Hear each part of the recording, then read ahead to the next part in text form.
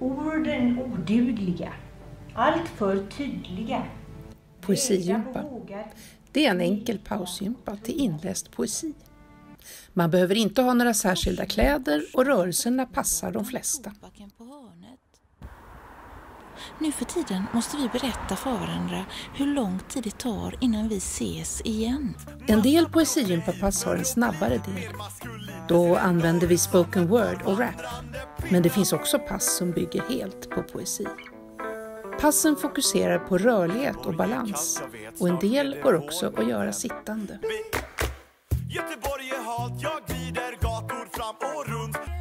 Poesigympa är framtaget av Biblioteksutveckling Sörmland i samarbete med Litteraturbanken och STIM för att säkra copyright.